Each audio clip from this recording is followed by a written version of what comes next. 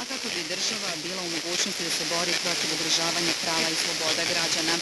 Ovaj paket mjera ne uključuje pitanje ograničavanja temeljnih prava i sloboda. Mjere koje će se primjenjivati neće na bilo koji način ograničavati svakodnevne živote građana Turske,